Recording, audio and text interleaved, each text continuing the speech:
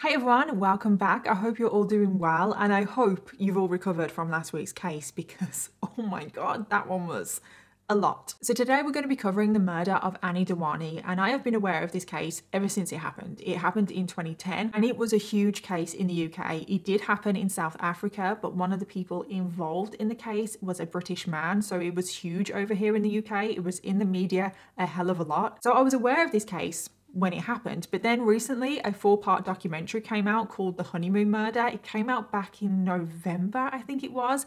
I watched it, of course, and oh my God, I was not aware of how complex this case was. So as soon as I watched that documentary, I was left with more questions than answers. So I was like, okay, I have to do a video on this case. So that is what we're doing today and the case does take place in South Africa so we're going to be visiting South Africa for the first time on this channel. When Anni was murdered she was on her honeymoon in South Africa. She had recently just gotten married to Shrien Dewani who was a millionaire businessman from the UK and let's just say there were a lot of question marks around Shrien. Um, to say the least, which we will of course try and unpack in today's case. And I say try because I still feel like after doing all of my research, I have so many questions about this case with no answers. I definitely want to hear all of your thoughts in the comments down below, like especially on this case. Like I want to know all of your theories. But before we do get onto today's case, we do have a sponsor, so we're just going to quickly jump into that. So I just want to give a huge thank you to today's sponsor, and that is Hunt A Killer. Now, have you guys heard of Hunt A Killer? It is amazing, and I'm sure some of you are already Hunt A Killer subscribers. But if you don't know what Hunt A Killer is, it is a murder mystery subscription game delivered right to your door. So you can solve this murder, this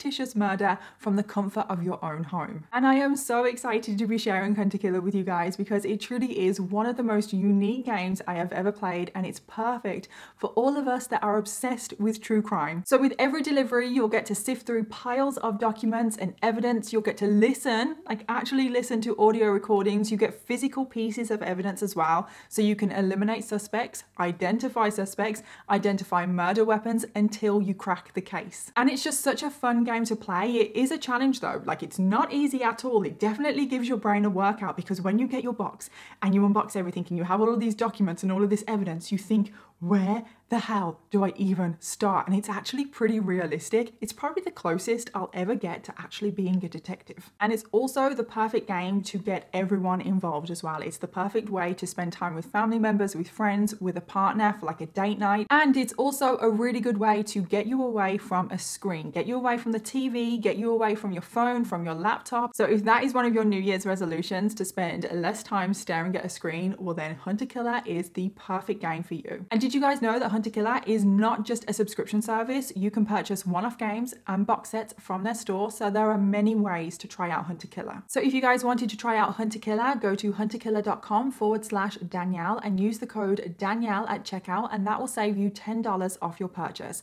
Again, that is code Danielle to save you $10. And also one of my favorite things about Hunt A Killer is that part of the proceeds from every single box goes to the Cold Case Foundation, which is an organization that is dedicated to helping real life cold cases, which I just think is absolutely incredible. So I highly recommend that you guys check out Hunt A Killer, get your little detective hat on, let's solve all of these crimes, and it's just so much fun, like it really is. So thank you again to Hunt A Killer for sponsoring today's video, but thank you to every single one of you watching right now, because without all of you, I wouldn't have opportunities like this. And now let's jump into today's case, which we are all gonna need our detective hats for. So Shrien Dewani was born on the 29th of December 1979, making him a Capricorn. And he lived in Bristol, which is just a city in the UK, with his parents and older brother. Before he was born, his parents did emigrate to the UK. His mom was from Uganda and his dad from Kenya. And after emigrating to the UK, Shrien's dad started his own healthcare business, which provided healthcare for the elderly. And he also owned a string of care homes in the UK as well. Now, Shrien had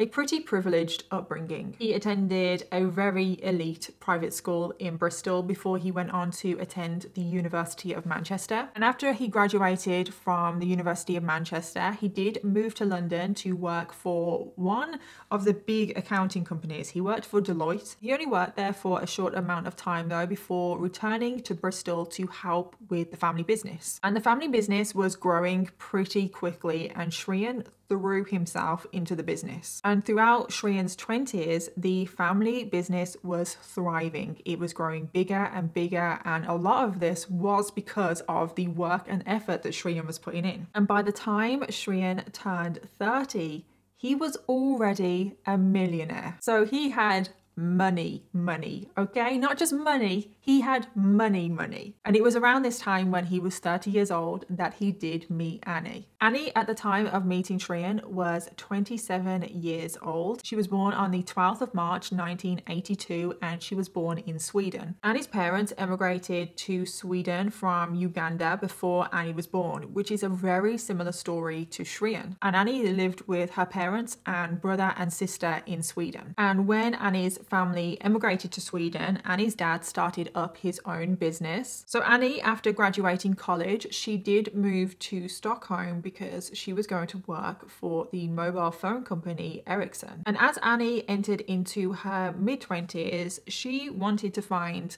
her partner. She wanted to find that person that she was going to spend the rest of her life with. She wanted to find a husband. And she began dating to try and find the one, but she wasn't really having that much luck. Now, Anni's family did have a lot of family in London. So Anni decided that she was going to travel back and forth to London to maybe meet someone in London. And she would spend many weekends in London staying with family and going out at the weekends, socializing, having fun. And this is when she met Shrien. So the two of them reportedly hit it off straight away. And after they first met, they immediately arranged a second date. And for their second date, not that this is very important, but I just kind of find these things interesting. For their second date, they went to see The Lion King, the West End show, which I think is a pretty good date. I actually want to go see The Lion King. I've never seen The Lion King at the West End before. This soon led to the third date, to the fourth date. They were going to many dates, and we know Shrien has money money. So a lot of these dates they were going to really fancy hotels and restaurants. And soon because they were hitting it off so well anni was thinking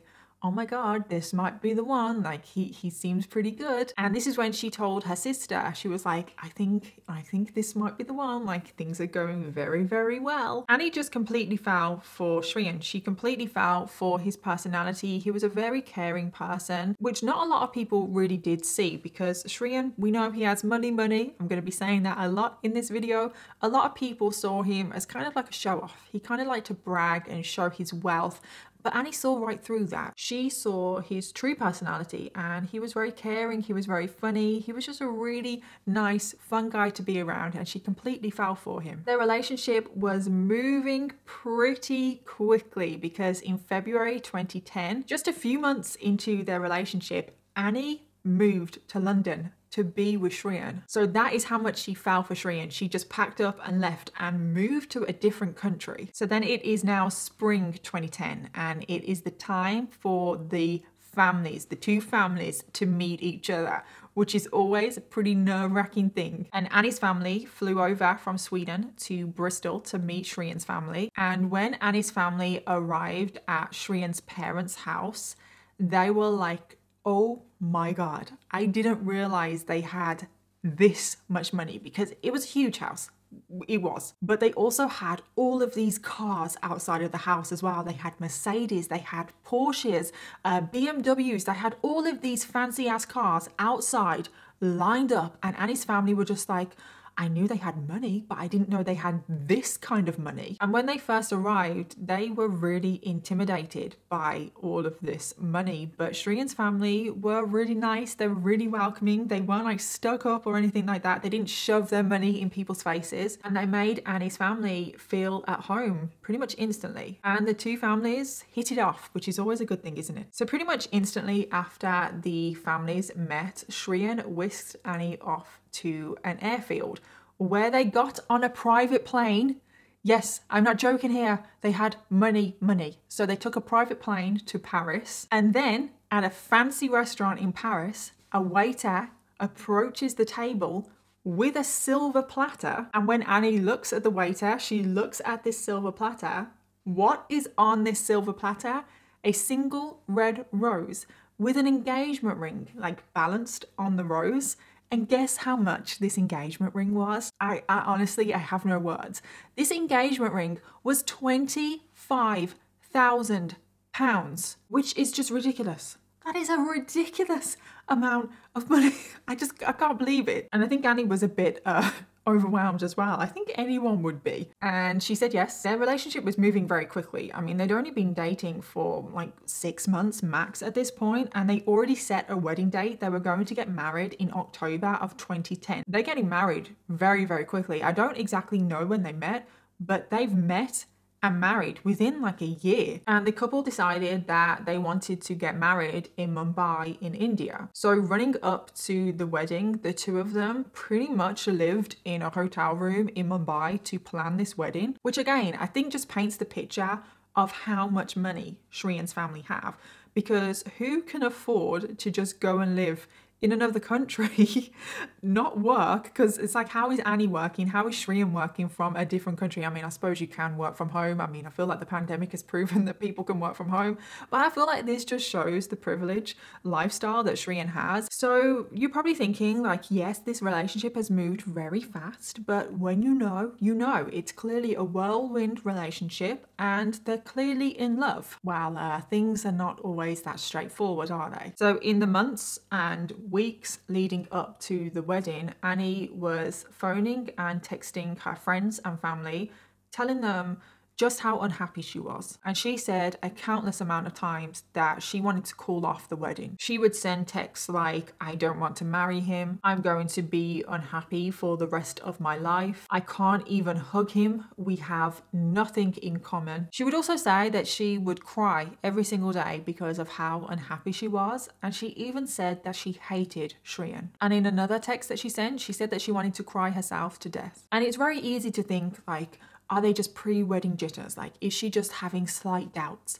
But no, it didn't seem like that because these texts and calls were constant. It was week after week after week after a week that Anni was sending these texts and making these phone calls to her friends and family. Anni just said that Shrien was pretty controlling and they just did not get on. They had nothing in common and that they were always just fighting and arguing. And then there was another huge problem in the relationship, and that was that Anni wanted to be intimate with Shrien, but that is not what Shrien wanted. Every time she would initiate being intimate with him, like even just like a kiss, like even just like a little bit of intimacy, he would push her away. He would shut her down. Shrien told Anni that he did not believe in sex before marriage. Anni just felt really rejected. And Anni would talk to her sisters about this. And they would even like have these little debates, like trying to figure out, like, was he even still a virgin? They just didn't know. They didn't know anything about him because Shrien just didn't really open up about anything like that. He would just shut Anni down. At one point, it got so bad that they weren't even sharing a bed. And Shrien went and slept on the sofa. And they were just continuing to argue all the time. Anni actually called off the wedding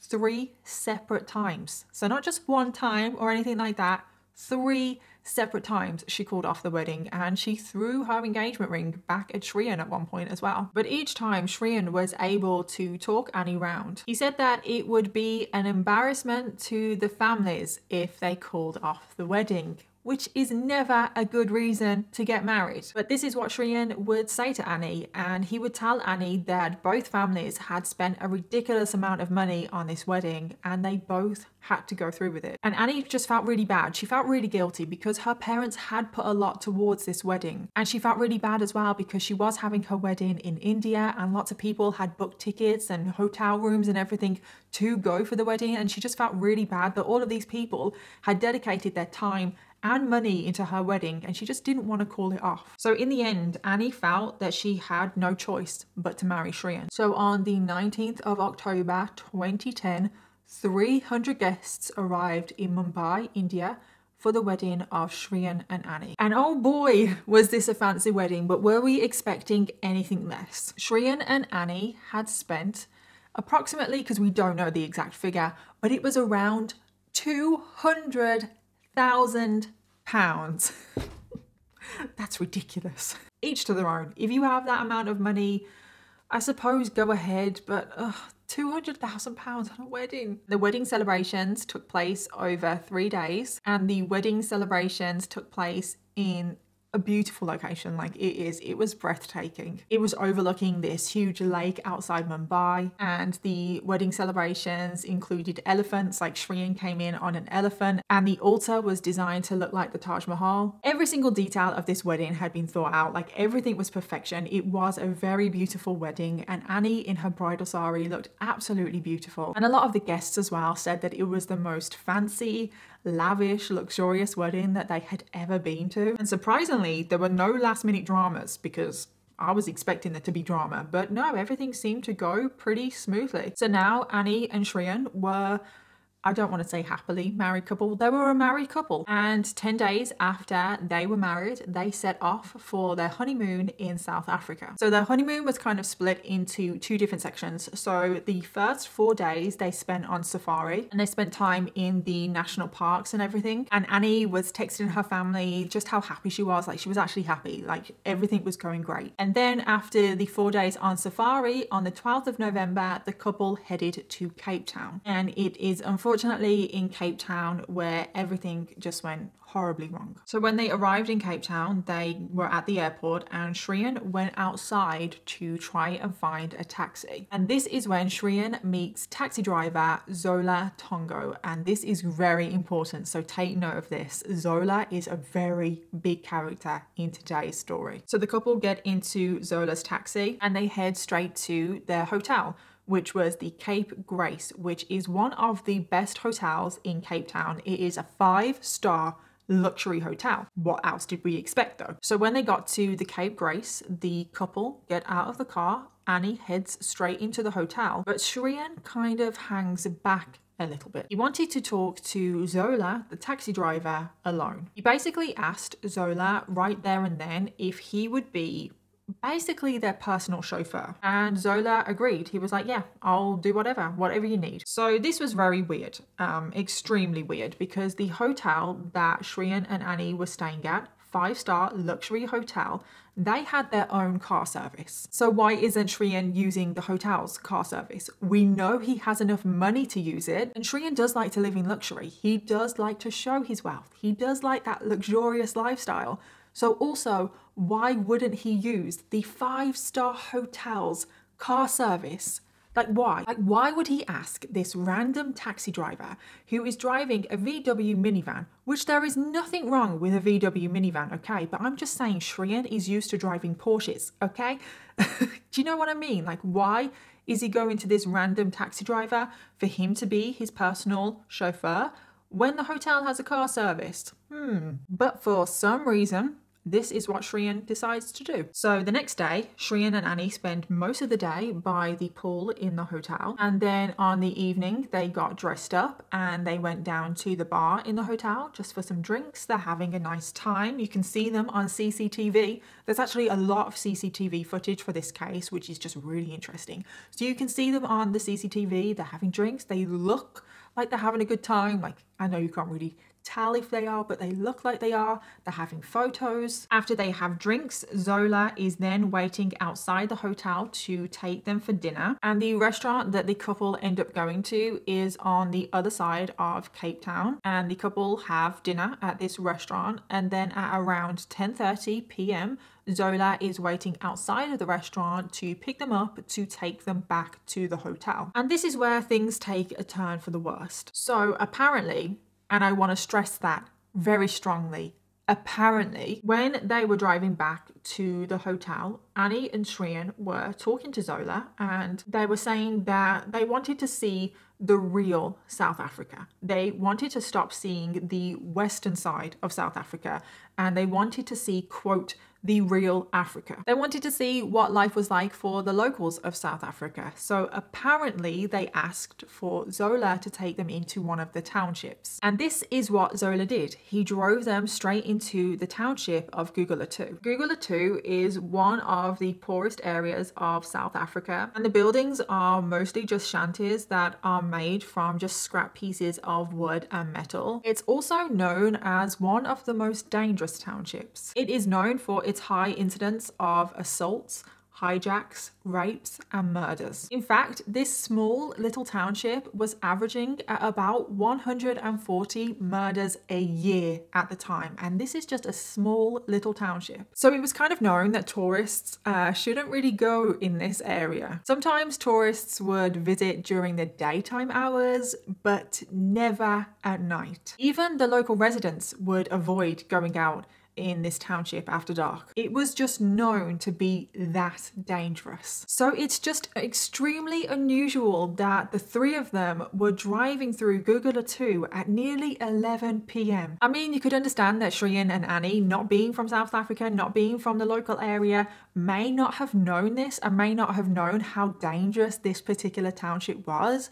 But Zola was a local. He would have known this and he should have said, uh, I don't think that's a good idea. Like, I don't think we should go into that township. But here they are, all three of them driving through 2. And unfortunately, this was not a good idea. So it was around 10.45 p.m. and the taxi approached a junction and a stop sign. So the car came to a stop. Anni and Shrien were just sat in the back of the taxi and they were looking around, just looking out the windows, when all of a sudden two men rushed up to the vehicle and started banging on the windows. And one of them was holding a gun. And before anyone in the taxi knew it, the two men had jumped jumped into the car. One of the men jumped into the front of the car and almost pushed Zola out of the way, out of the driver's seat. And the other man jumped into the back of the car with Shrien and Anni. So they forced Zola, the taxi driver, out of the car. At this point in the taxi, it is just the two hijackers and Anni and Shrien in the car. A gun is being pointed at Anni and Shrien and they're being shouted at by the two hijackers to lie down on the back seat, otherwise they will get shot. The gunmen then demanded that Uh, that Shrien hand over his watch and his phone, which Shrien did. And then the gunman told the couple that they were going to separate them. They told Anni and Shrien that they were going to kick Shrien out of the car first and then drive off for a little bit and then kick Anni out of the car second. Now, Anni and Shrien were hysterical at this point, but they were now begging for them not to be separated. But the hijackers had made up their mind. They wanted, for some reason, to separate the couple and they had stopped the car and they were shouting shouting at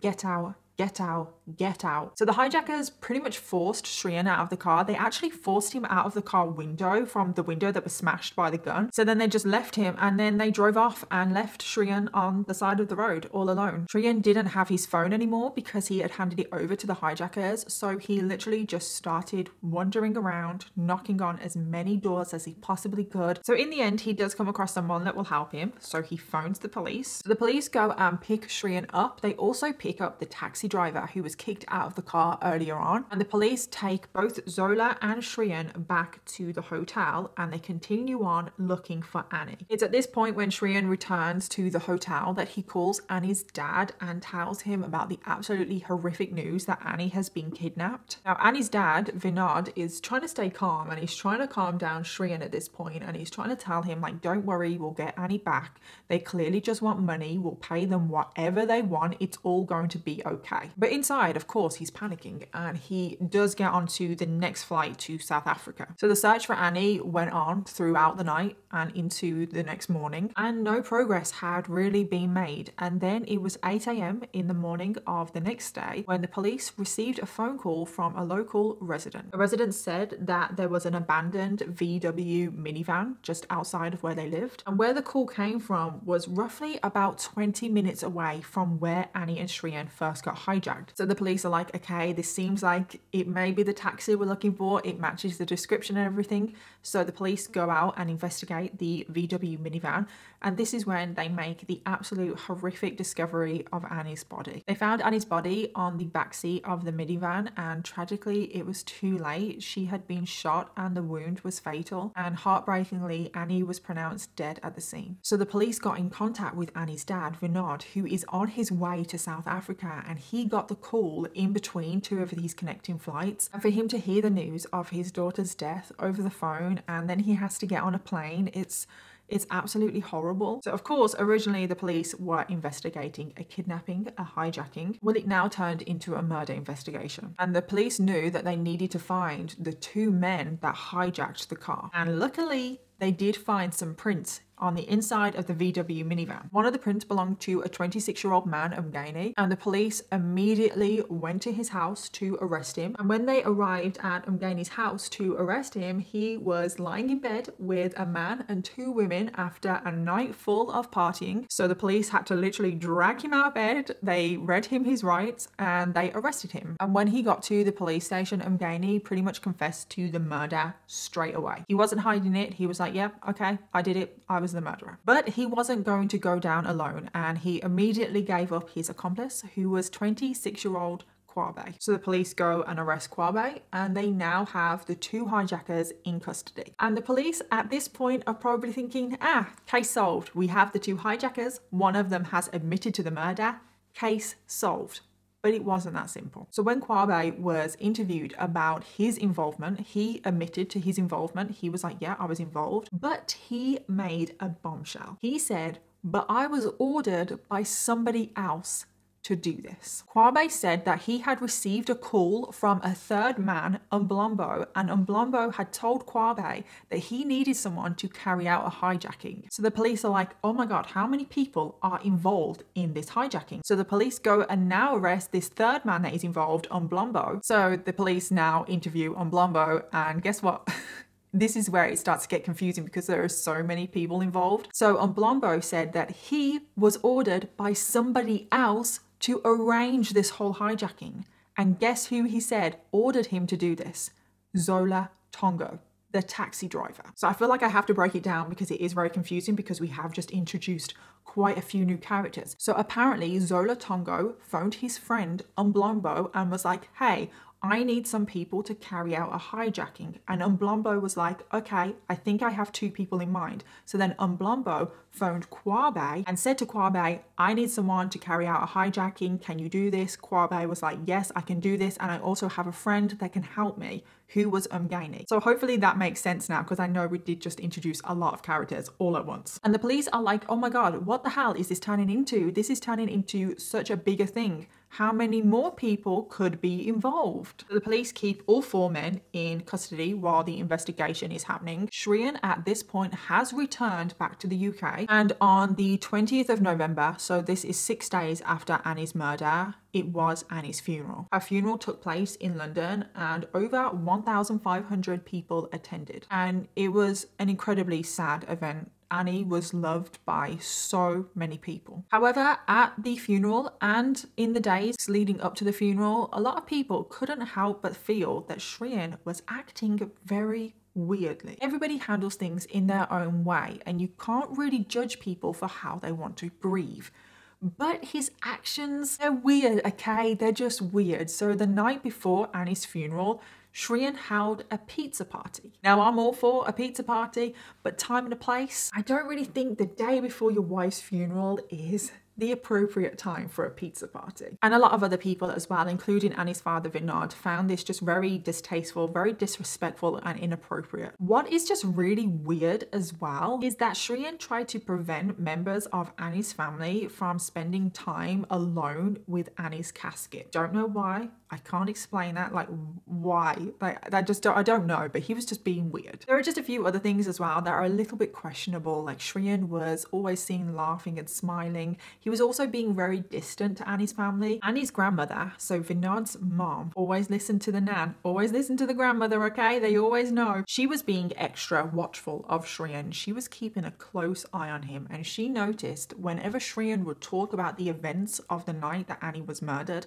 his story would always slightly change. Just little details, like the tiny little details that most people probably wouldn't pick up on.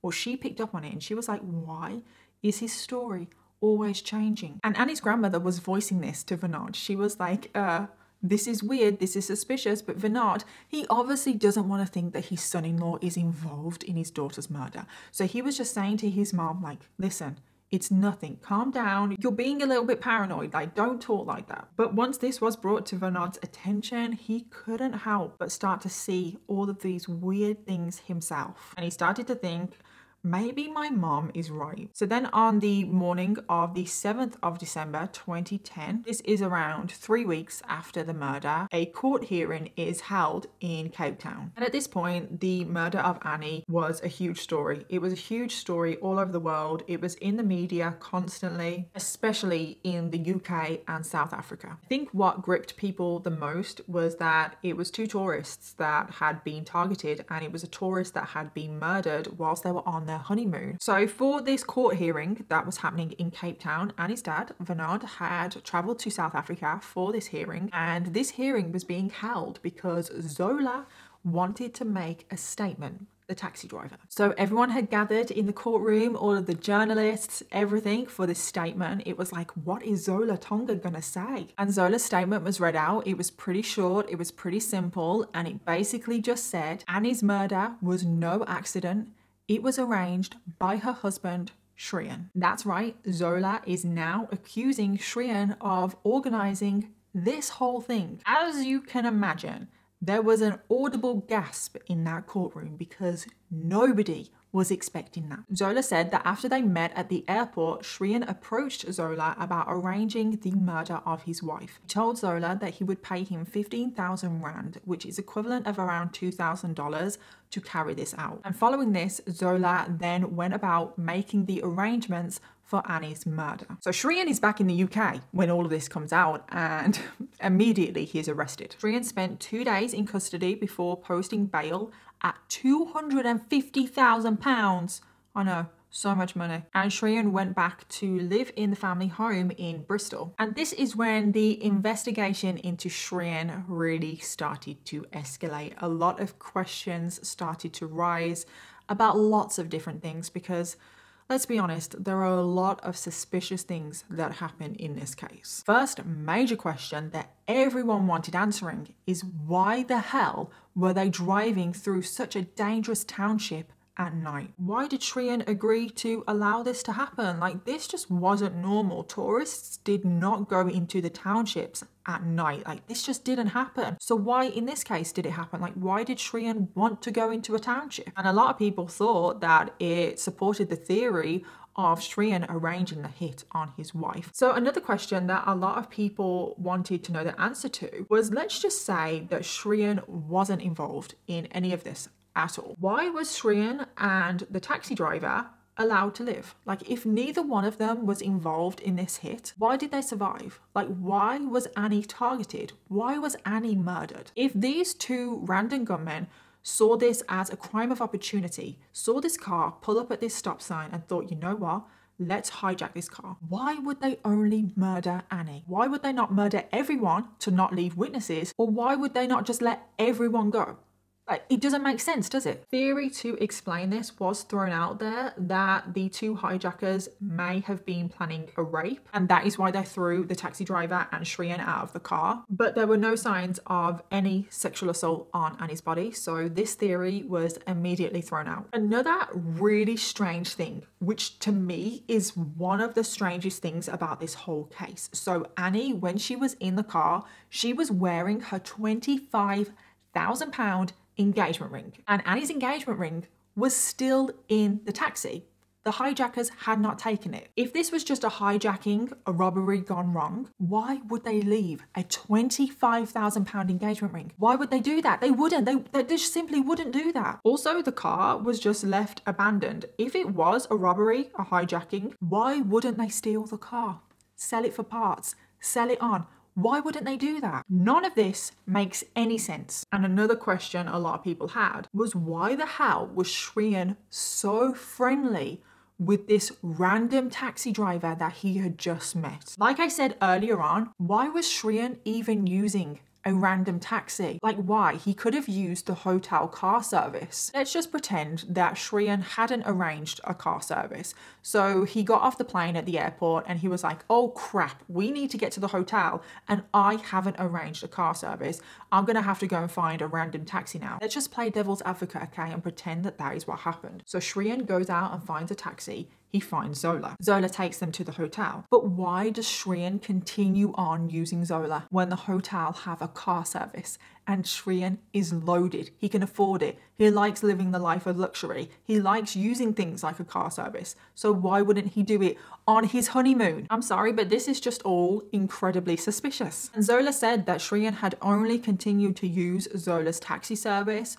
so they could both arrange Anni's murder. Zola gave a full account of what his versions of events were. So he said once he dropped Anni and Shrien off at the Hotel Cape Grace the first time, Anni went into the hotel and Shrien came back out and spoke to Zola alone. And it was at this point that Shrien had asked Zola about arranging the murder of his wife Anni. And you can see this on CCTV. You can see Shrien coming back out of the hotel and speaking to Zola on his own. And Shrien was speaking to Zola for 10 minutes. What do you need to speak to a taxi driver for? For 10 minutes. Like, 10 minutes, that's a very long time. Zola said that it was at this point that Shrien had offered him 15,000 Rand to organise the murder of his wife Anni. And Zola said that this is why they were talking for so long because of all of the details that they needed to go over about the murder. There is also CCTV footage of Shrien just before the murder of Anni going to withdraw a large amount of cash. Again, the questions arose why is Shrien withdrawing so much cash? And something that definitely supported Zola's version of events was the sheer amount of texts and phone calls between Shrien and Zola in the 24 hours leading up to Anni's murder. However, unfortunately, the police could see how many texts were exchanged between the two, but unfortunately, what was said in the text messages was never recovered. And this to me is so suspicious. It's like, who the hell texts and phones their taxi driver so many times. It's like if you do have to communicate with the taxi driver, it's always very short and it's always like, yeah, I need picking up from here this time, blah, blah, blah. Oh, how much is that? Oh, okay, thank you. Bye. Like, you know what I mean? Like, phone calls with taxi drivers don't exactly last for very long. And you may text them, oh, this is the directions, or this is the address, or blah, blah, blah. But you don't send that many text messages. It's like,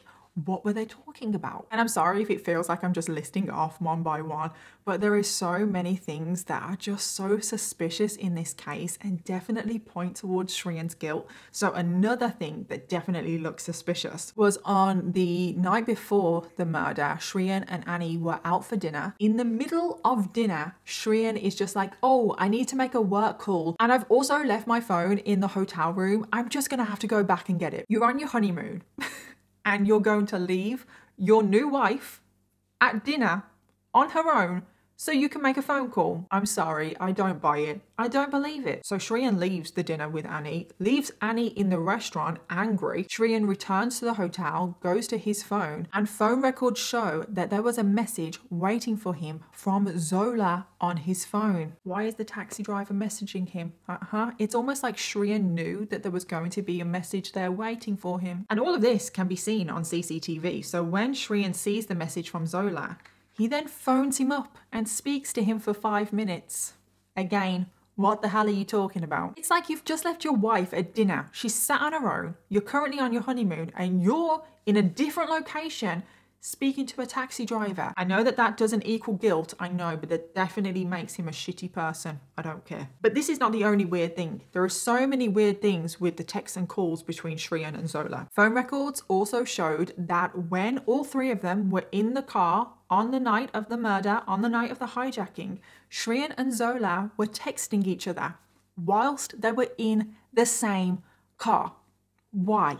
Why? What were they talking about? They were clearly talking about something that they didn't want Anni to know about. Who texts their taxi driver when they're in the same car as the taxi driver I'm sorry, I've never heard of that happening before. Again, the contents of these messages were never recovered, so we don't know what was in those text messages. But let's just face it, it doesn't look good, does it? It doesn't. Like, who the hell texts their taxi driver whilst they are in the car with the taxi driver? And finally, there was more suspicious CCTV footage after Anni's murder. So in one recording, Shrien is talking to Zola the morning after Anni's murder. All of a sudden, Shrien looks up directly at the camera and definitely starts acting a little shifty. It's like, why all of a sudden did you look up at the camera? Hmm? Why? Zola said that in this footage, Shrien had gone up to Zola and asked him if the job was done. And Zola said, you need to be careful what you ask me because there's cameras. And after Zola said about the cameras, this is when Shrien looked up at the cameras. Now, this next thing that I'm going to tell you is, in my opinion, the most damning piece of evidence because everything that I have said so far is suspicious.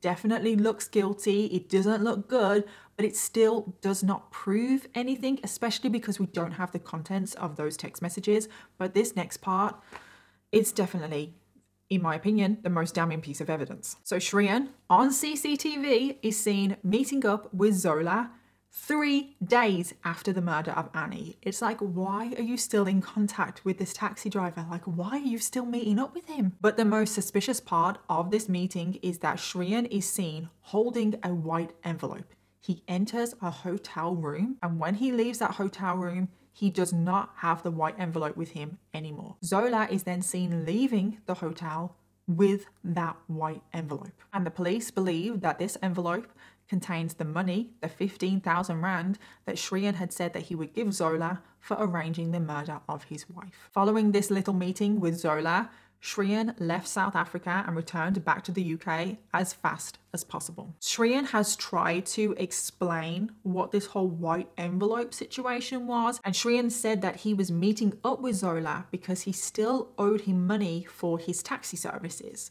And it's like, okay, all right, sure. So, yeah, there are a lot of things that don't look good. But a lot of people were still asking why? Like, what was Shrien's motive? He wouldn't gain financially from Anni's death, which is a lot of times the motive behind these kinds of killings. There was definitely signs that possibly both of them were unhappy in the relationship. That could be a motive. Well, it actually turns out that a pretty strong motive did become clear. So, a few weeks after the murder, a man called Leopold Leisser got in touch with the police. Leopold was a male escort and he went by the name the German Master. And it turns out that Shrien was a client of his. So, in the month leading up to the wedding, Shrien had paid Leopold, the German Master, for three sessions. Leopold told the police that Shrien liked to dress up in leather, he liked S&M, he liked to be dominated. And Leopold wasn't the only person that came forward about Shrien's sexuality. Quite a few people did come forward that they had had encounters with Shrien in gay bars around London. Now again,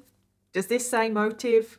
I don't know, but Get this. So Leopold told the police that Shrien had confided in him about the wedding and he had told Leopold that he needed to find a way out of this marriage. But Shrien was worried about his family disowning him if he did. It also came out that Shrien had visited quite frequently the website Gaydar and in Shrien's history it showed that he was visiting this site in the days leading up to Anni's murder but also the day after her murder. It's like, do what you want to do, you know, I don't care.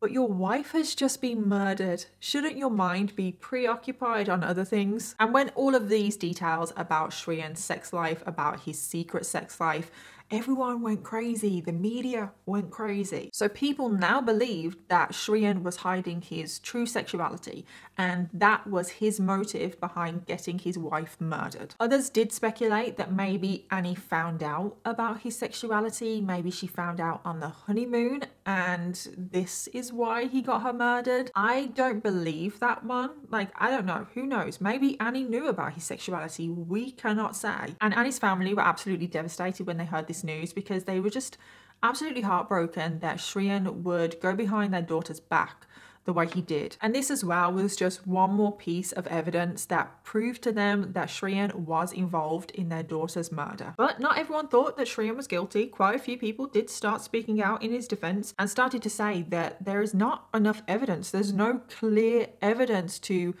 to prove that he was involved. One of the strongest arguments in his support to prove his innocence was that was it really plausible for Shrien and Anni to arrive in South Africa, then arrive in Cape Town, and Shrien in that moment arrange a hit on his wife. I mean, if you think about it, they arrived in Cape Town and within 24 hours, Anni was murdered. That is a very quick turnaround if you are going to arrange a hit on someone. And also, what are the chances that Shrien went up to the first taxi driver that he saw and this taxi driver just so happens to be able to help him with a murder. And I can understand this argument, I can. It doesn't really seem plausible, does it? Not that I know how long it takes to arrange a hit on someone. Unfortunately, I think it's probably quicker than we think, but it still seems kind of far fetched when you actually think about it like that. And then there's also the question of all of the money and the phone calls because the fact that Shrien had so much money on him, the fact that he withdrew that large amount of money, and then also the fact that he was constantly calling and texting his taxi driver definitely looks guilty. Well, Shrien had an answer to all of this. He said that he was trying to arrange a surprise helicopter ride for Anni. And this is why he needed a large amount of money to pay for this helicopter ride. And this is why he was constantly phoning and texting the taxi driver because he was going through the taxi driver to arrange this helicopter ride. Why are you going through your taxi driver to arrange that? That does not make sense. I feel like I need to stress again. He is staying in a five star hotel they have the ability to do this for you. And I did see a member of staff at the Cape Grace Hotel saying that they've done this plenty of times for many guests. They have arranged helicopter rides and they can do it in a matter of like five minutes. So again, why are you using your taxi driver? A lot of people also argued that the witnesses in this case were not the most reliable. So that is Zola, Mngeni, Mbolombo, and Qwabe. So a lot of people think that the other men that were involved in this murder are not the most reliable witnesses because they all initially did not point the finger at Shrien. None of them once in their initial statement said Shrien did it, Shrien is the one responsible, he is the one that organized it. None of them said any of that. All of a sudden, like two weeks after they were arrested, three of them changed their statement to then accuse Shrien of being involved. And three of them were offered plea deals, reduced sentences in exchange for their testimony against Shrien. So you can understand why people think that they're not the most reliable witnesses. And then there was even some speculation that the South African government were motivated to try and pin this crime on Shrien because it would look bad for South African tourism. Because if it was found that locals had murdered a woman whilst she was on holiday in South Africa, that would give a bad reputation to South Africa, that would affect tourism, and that is why the South African government wanted to pin it and blame it on Shrien. So yeah, this case, it's got a lot of avenues. It's very confusing. It's very, very complex. But anyway, the pressure is really building up on Shrien. Remember that currently he's still actually in the UK. He's just out on bail. Well, there are a lot of calls to get him extradited back to South Africa to stand trial. But there was kind of a problem with this because in February 2011, an ambulance was called to Shrien's family's home. Shrien had taken an overdose of sleeping medication and he had told many people that he didn't want to live anymore. Shrien was then diagnosed with severe depression and PTSD. He was then committed into the Priory Hospital in London under the Mental Health Act. He was essentially sectioned, and because of this, it was declared that he was not fit enough to stand trial for the murder of Anni. But the South African government wanted him to stand trial. They wanted him to answer all of these questions that were unanswered. But because of Shrien's illnesses, the extradition just kept getting pushed back and pushed back and pushed back. And as everything kept getting pushed back and pushed back, Shrien was actually photographed in London quite a few times, outliving his life, and a few people were accusing him of faking his illnesses, which I'm not going to say he was.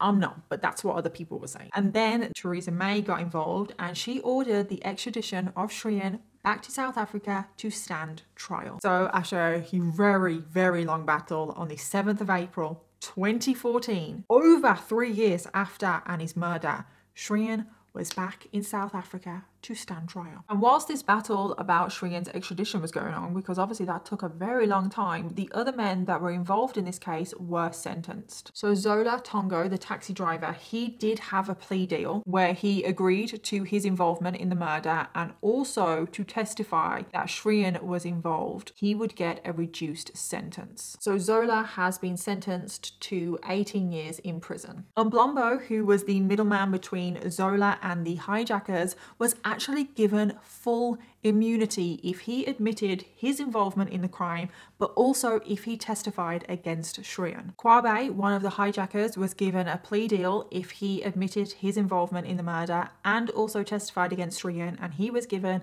a 25 year sentence. Mngeni was never given a plea deal. I don't know why, he was the only one that wasn't given any kind of deal, and he actually pleaded not guilty to the crime as well. So he did go to trial. He was the only one that went to trial in 2012, and he was found guilty and he was sentenced to life in prison. And then on the 6th of October 2014, it was the start of Shrien's trial. And as you can imagine, there was so much interest in this trial all around the world, but especially in the UK and South Africa. Everyone was speculating is he guilty? Is he not? So Shrien was charged with conspiracy to murder along with five other charges, and he pleaded not guilty to all of them. The start of the trial really focused on Shrien's sexuality. The prosecution wanted to argue that Shrien's sexuality was the motive behind the murder. And pretty much the entire case that the prosecution had was based around Shrien's sexuality. And then a huge shock came from the defense on the first day. So the defense read out a statement from Shrien, and in the statement, Shrien came out and admitted that he was bisexual and he admitted to having encounters with male escorts. And this was a huge shock to everyone because everyone was expecting Shrien to deny all of these rumors, and the defense said that Shrien's sexuality should have nothing to do with the trial and that any evidence around Shrien's sexuality should be inadmissible. And the judge agreed. The judge agreed that Shrien's sexuality should not be brought into the trial. And like I said, the prosecution's whole case was pretty much surrounding Shrien's sexuality. So they kind of had nothing. It's like, come on, you can't base your whole case on one thing. Ugh. Pretty much the rest of the trial focused on the testimony from Zola Tongo because he was the only one out of the other four involved that actually had contact with Shrien. So Zola gave his version of events with all of the CCTV, like saying everything that happened and all of the texts and the phone calls and the money, everything. Zola spent five days being cross examined by the defense. That is so long. And the longer he was on the stand, the more inconsistencies kept coming up in his story. And he started telling slightly different versions of the story each time. And as time went on, he was just looking more and more like an unreliable witness. And because of this, because Zola was contradicting himself and just because he wasn't making anything clear, the defense argued that this whole case should be thrown out because literally it has no evidence, it has no basis, and they have no reliable witnesses. And it turns out the judge agreed again, and the whole case was thrown out. And the judge said that they were disappointed in the weak case that the prosecution had brought forward. Mr. Tongo, who was the only witness who could link the accused to the conspiracy, gave evidence to the court which is so improbable and contains so many mistakes, lies, and inconsistency that one simply cannot know where the lies end and where the truth begins. So in the end, Shrien was found not guilty. He didn't even take the stand because obviously the case was thrown out before he could. And at the end of the day, that is all Anni's family wanted. They wanted Shrien to take the stand. They wanted to hear it from his own mouth under oath what happened that night. And following the trial, a formal complaint was actually made against the judge in that trial, accusing her of being biased towards the defense, and that is why she threw the case out. Shrien was obviously found not guilty, and he was just able to go on and continue living his life as a free man. There have been reports that he is living in a £3 million apartment in London with his new partner. And there are a lot of controversy that surrounds this case still today. People are outraged that he never gave a full account of what happened, and I can understand that. Regardless of what you think, regardless of whether you think he's guilty or not guilty, he has never fully been able to explain and give answers that are good enough to a lot of the things